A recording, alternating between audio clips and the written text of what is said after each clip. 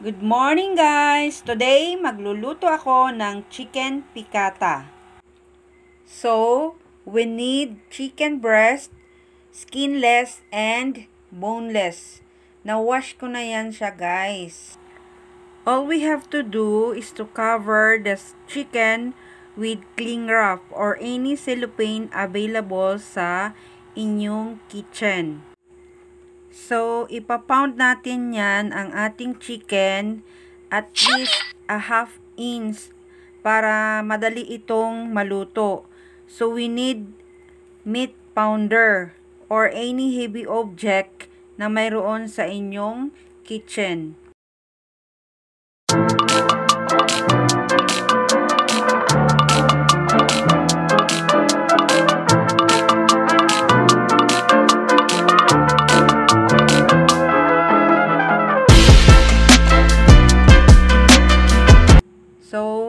Start pounding guys until lumambot yan ang ating breast chicken.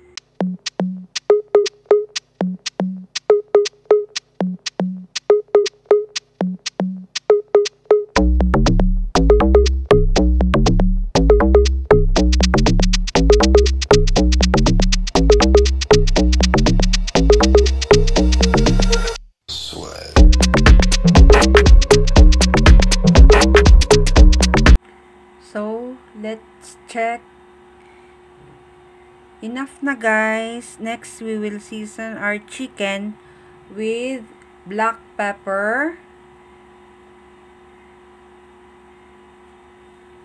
onion powder, I put a little bit of paprika, and don't forget to put salt in our chicken.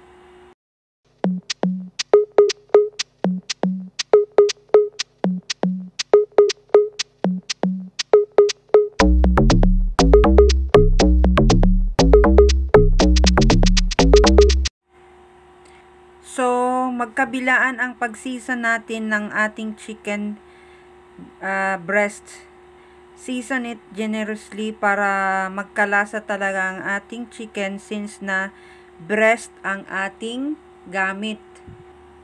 Chicken piccata is an Italian and American dish. Nagumpisa sila sa US pero ang nagdala nito sa US ay isang Italian immigrant. So, well seasoned na ang ating chicken. Next natin gawin, i-dredge natin yan ang ating manok sa harina.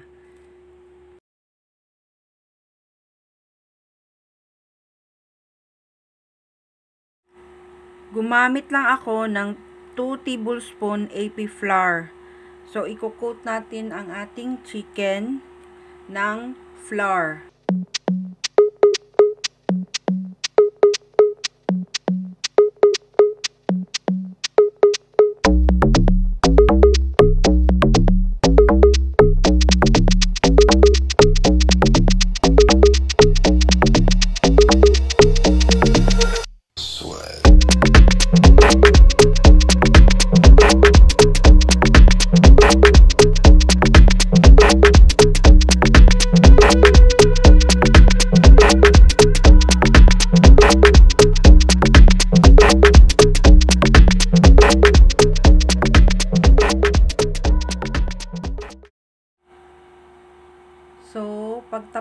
Makot lahat ng ating chicken, iset aside lang natin yan.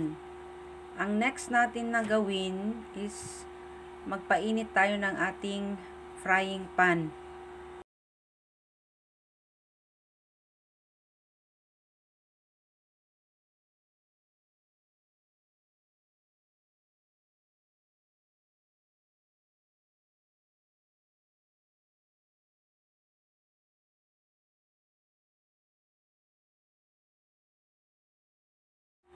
Pag nainit na ang inyong frying pan, maglalagay tayo ng cooking oil.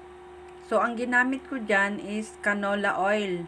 Pwede din kayong gumamit ng olive oil. Make sure na mainit ang inyong mantika bago nyo ilagay ang inyong manok.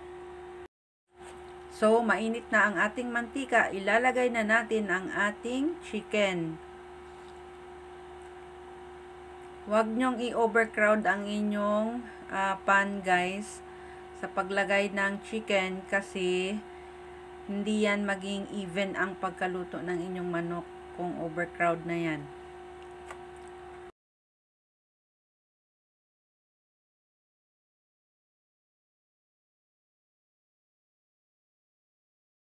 So, lulutuin lang natin ang ating chicken for about uh, 4 to 5 minutes or hanggang mag golden brown yan ang ating manok.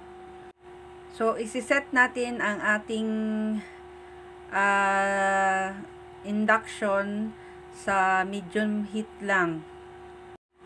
I-check natin. So, ayan, kulang pa. So, lutuin natin yan hanggang sa mag golden brown. So, check natin ulit. O, ayan na guys. Pwede na. Baliktarin ang ating chicken.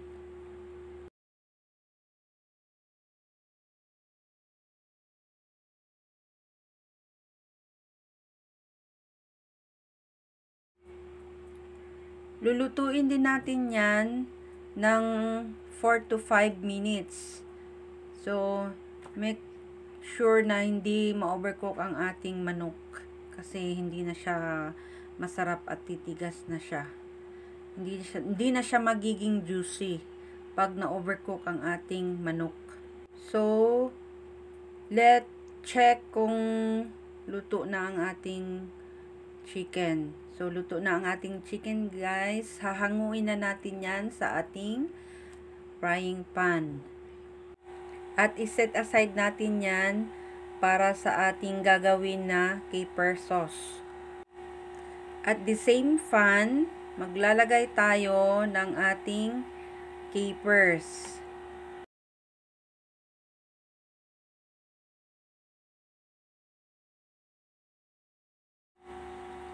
So, halu-haluin lang natin yan hanggang sa medyo magsisel yung ating keepers.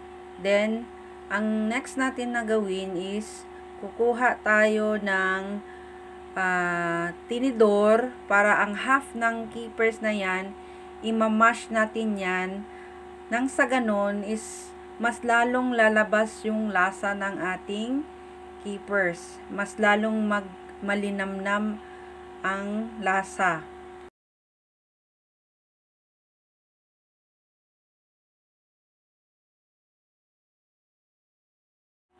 Ang next na ilalagay natin ay ang butter.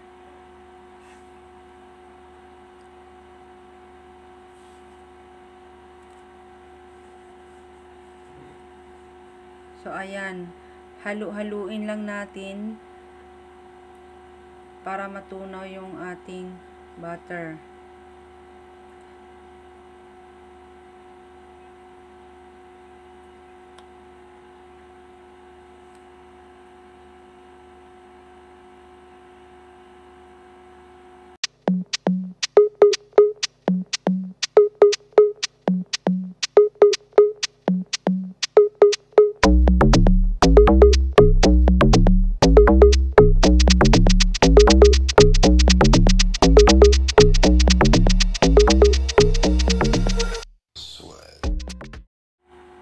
Maglalagay lang ako ng Sprite dyan instead of white wine.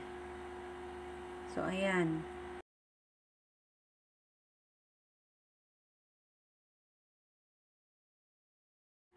Pakuluin lang natin yan hanggang mag-reduce ang liquid at mag-thicken ang ating sauce.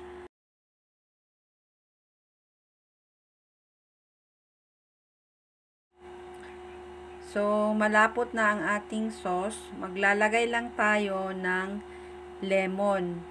So, I have here half ng lemon since malaki itong lemon na ginamit ko. So, magsisqueeze lang tayo dyan sa ating uh, caper sauce ng lemon. Make sure guys na hindi maiiwan yung buto dyan sa ating caper sauce kasi mag-iba yan ng lasa. Maging mapait na yan. Finally, ilalagay na natin ang ating fried chicken. Let's simmer it for about 2 minutes para mag-thicken pa ang ating caper sauce. Para manuot pa ang ating caper sauce sa ating chicken.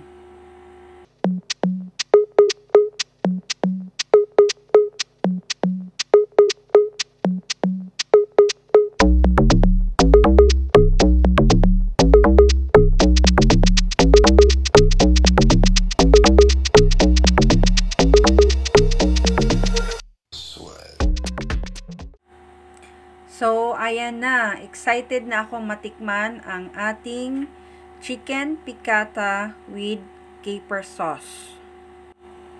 Look at that. This is how I cook chicken piccata.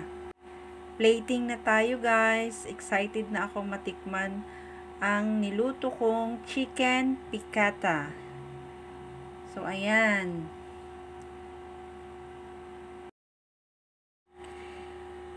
Ibubuhos na natin ang ating caper sauce sa ating chicken. The smell is so nice. Yung buttery and lemony na ating maaamoy walang katulad. So, try nyo na mga ka-AU Kitchen. You can't go wrong with it. So, simple and easy to prepare. So, guys, thank you for watching and don't forget to subscribe and click notification bell.